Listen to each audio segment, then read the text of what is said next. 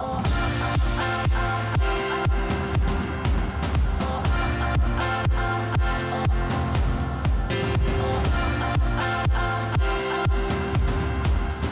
guys, I'm Kreena and welcome to my channel. Today I'll be showing you three different DIY home decor IKEA hacks which are super easy to make. They're really really cute and they're very affordable as well. So I'll be converting a toilet cleaner and making that into a vase. Then I'll be upcycling a coaster and making it look really cute. And lastly I'll be converting a drawer liner and making that into a cushion cover. I really want to inspire you guys to recreate these projects because they're absolutely amazing. And if you like what you see today, then make sure to give this video a big thumbs up and also subscribe to my channel since I post two new videos every single week. Now without further ado, let's dive right into these projects. So I had purchased a toilet cleaner from Ikea six to seven months ago and the handle broke off so I had to buy a new one and this is exactly what my previous one looked like. So I threw the handle part away and I still have the base and I don't want to throw that away so I'm going to create a really cute vase out of that. I recently went to a thrift store and I got this bag of yarn just for $3 and this is what I'm going to use for the project. At first I'm going to measure the rim of the vase and I'll cut a yarn which is a few inches longer than that. Now I'll take two strings of yarn and loop it around the main one just like this. I'll repeat this process 5 more times so that I have 6 bunches of yarn hanging from the main string.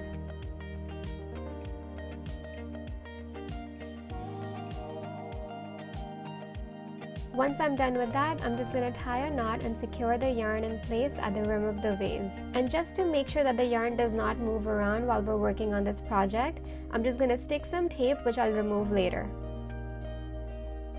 Now split each section in half so that you get two strings from each side and tie a knot just like this.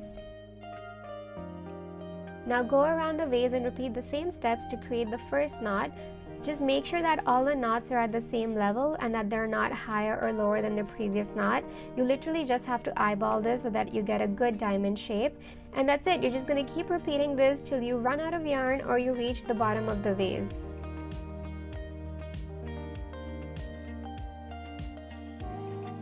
I was only three quarters of the way done when I ran out of yarn, but that's okay, I figured a way out to deal with this. So firstly, I'm just gonna glue the main piece of yarn at the rim and I should have just done this earlier so if you guys are recreating this I suggest that you just go ahead and glue the yarn at the rim instead of sticking tape. Once the glue dried off I removed all the pieces of tape and now my plan is to stretch all these pieces of yarn all the way to the base. In order to do that, I'm just going to wrap a few pieces of elastic rubber band across the vase and the main reason why I'm doing this is so that the yarn can stay in place and it's tightly pulled together and it doesn't move around while the glue is drying off. I promise you this will make sense once you see what I'm doing next. Now this last piece of elastic will make sure that the yarn does not move around while the glue dries off. So here it is, I'm just going to apply some glue at the edge and place the yarn on top of that and secure it in place. Now the main reason why we had used all these elastic rubber bands is just to make sure that the yarn does not get pulled upwards while the glue is still drying off. Once the glue has dried off completely, now it's time to remove all the elastic rubber bands and just cut off all the excess yarn that's going beyond the edge. Finally, I'm just to apply some glue at the base of the vase and I'm just to wrap some string around it. Now this will give the vase a very clean and finished look. And finally, I'll just apply some glue at the edge and wrap the final piece of string around it. And that's it, we're done. I still can't believe I turned this toilet cleaner into this beautiful vase. I absolutely love how this turned out.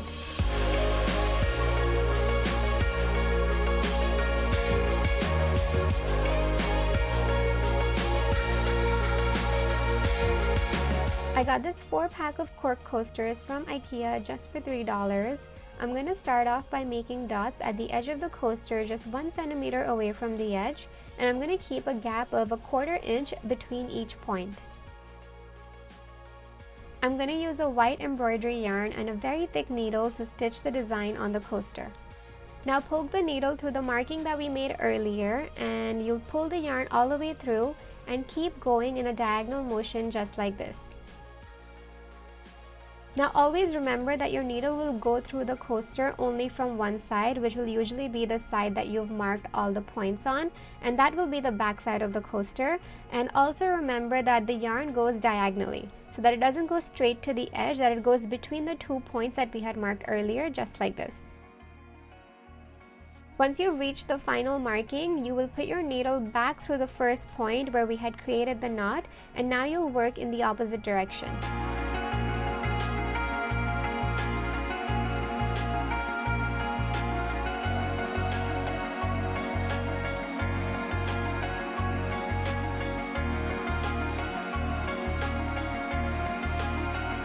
Once I'm done creating the outer border, now I'll move on to the center of the coaster. And here I'll create 8 points, 1.5 inch away from the center point.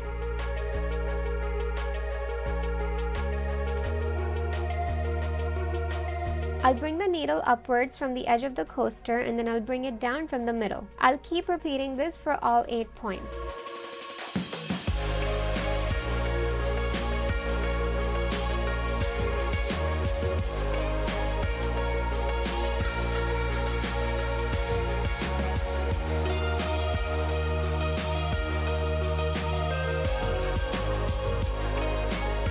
Make the smaller star in the middle, I'm going to mark 8 points, 3 quarters of an inch away from the center point. And finally, I'll make the star just like the previous one, so I'll bring the needle up from the edge and I'll bring it down the middle point.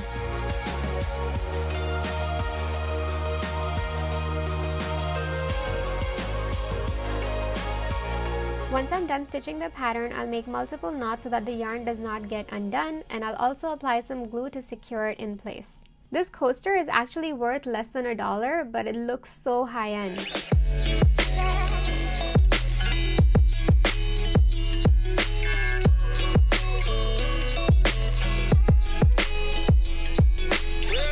I found this drawer liner at Ikea just for $2. I'm sorry I can't find a link to this online, but at the store this was for $2 and I absolutely love how this had a felt lining on one side. So I went ahead and measured 16 inches on one edge and I cut two pieces of square that are 16 inches wide from one mat. I'll flip one of the squares over just to make sure that the felt lining is on the outside. Now I'll poke my needle from one of the sides and bring it outwards just to make sure that the knot on the yarn remains on the inside of the cover. In order to stitch both the panels together, I'll make a blanket stitch on all the edges. A blanket stitch is super easy to make and it looks really good as well. So all you have to do is bring your needle from one side of the cover to the other side. Before you pull the yarn all the way to the edge, just bring your needle through the loop and then pull the yarn up vertically.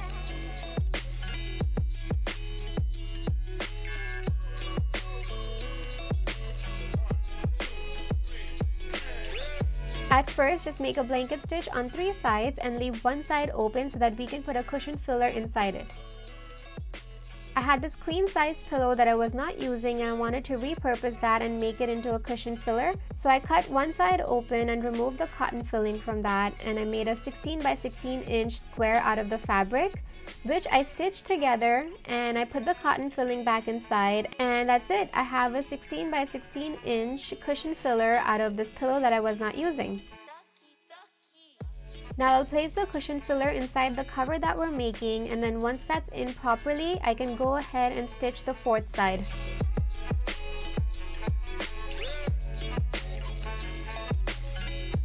Now this is absolutely why I love doing the blanket stitch because you really can't tell which side the opening was.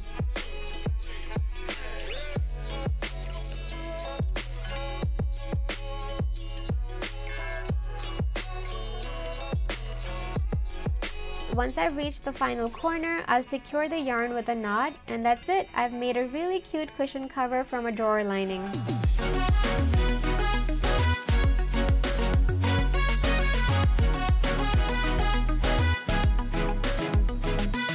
It for my DIY IKEA hacks video for you today. I absolutely loved all of these projects, but my favorite one were these coasters. They are so cute.